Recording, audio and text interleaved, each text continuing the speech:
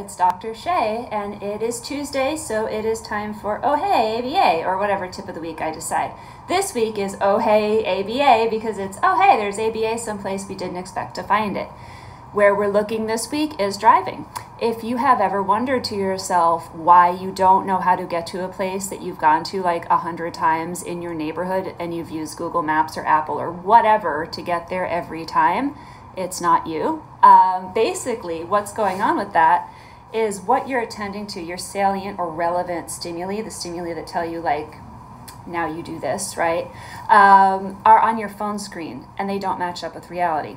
For example, the SD, the discriminative stimulus, meaning now's the time to do this, um, to make a left might have been at the Texaco station, or when you see like a particular tree, you know you make a right on that street um, if you're old like me and remember driving that way. Now we have everything on our phones or on a screen in the car, so all the relevant, the relevant stimuli are on the screen.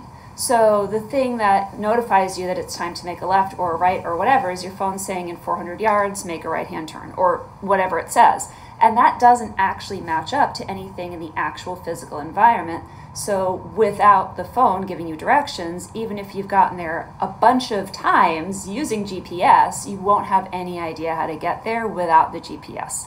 And it's not you. There's nothing wrong with you. It happens to everyone, and that's why. So if you want to see more of these, I have another fun driving one. Let me know. If not, I will catch you next Tuesday. Thanks.